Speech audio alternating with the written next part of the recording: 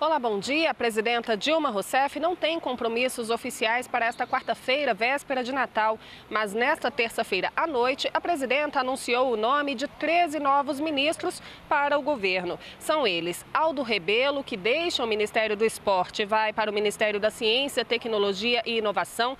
Jorge Hilton, que fica no esporte no lugar de Aldo Rebelo.